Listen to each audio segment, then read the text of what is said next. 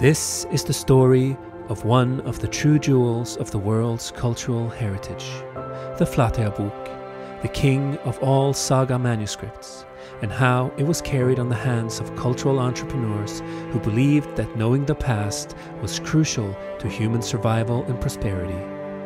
Our journey begins in Iceland.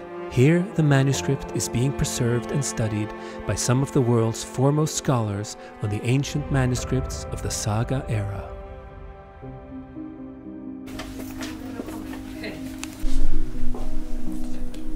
Well, this was for sure a, a very expensive project. It required a lot of parchment.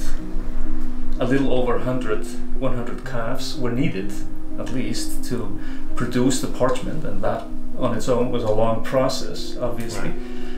And then, of course, you needed a great many books, because these texts that we have here, they were all copied from other manuscripts. It's a little hard to tell how many books were needed, estimates range from somewhere between 40 to 50 manuscripts. So there was actually a whole library that was needed to, to create this big volume. It's important to be able to express this, you know, to a, to a wider audience. What an enormous cultural treasure this really is.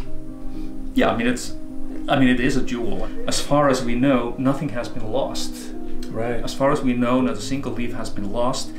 Uh, and the parchment is more or less in a good state. I mean, there are, I don't think there are there are many places, if any, that that cannot be read today. Right. And in that regard, this manuscript is very special. But this one uh, clearly has been regarded as a, a jewel um, for a long, long time, and it has survived Right. everything that could, all, all the tragedies that could befall such a manuscripts. This Yes. have always escaped. So it, it is, of course, uh, paramount that we, we keep it. Now we're on the way to see the president of Iceland to give him his copies of the Norwegian edition of Flateyjarbók.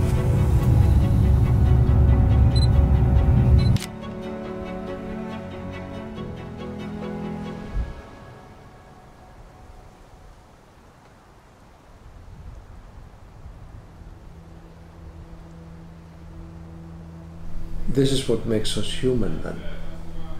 That we have uh, some kind of past that is special uh, that is uh, that our forefathers have uh, given to us in order to preserve. And it is very strange to think that this thought has emerged now in these times when we have everything. The story has, the, the, the question has never emerged before, I think, because this has always been the human project to preserve what your fore- forefathers said, did, and the stories they told. It has been said that our heritage is a bridge from the past to a better future for all.